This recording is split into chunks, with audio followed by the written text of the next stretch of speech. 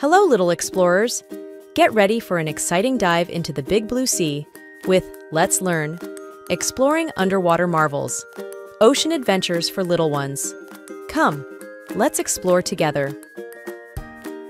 Look, it's a friendly fish. Fish come in many colors and sizes.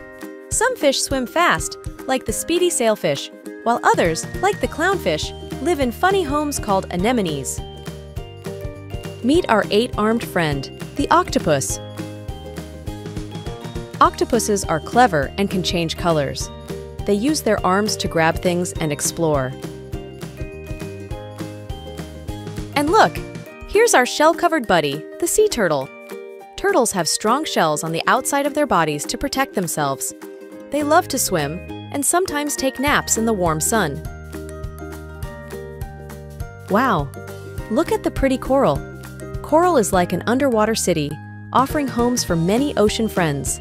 It's made up of tiny animals called polyps and can be pink, blue, or even purple. See the starfish? They have arms called rays. Starfish use these rays to move and eat. Did you know if a starfish loses an arm, it can grow back? Pretty cool, isn't it? Wasn't that a fantastic adventure?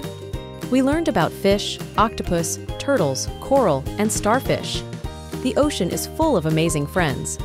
Be sure to like and subscribe for more fun ocean adventures next time.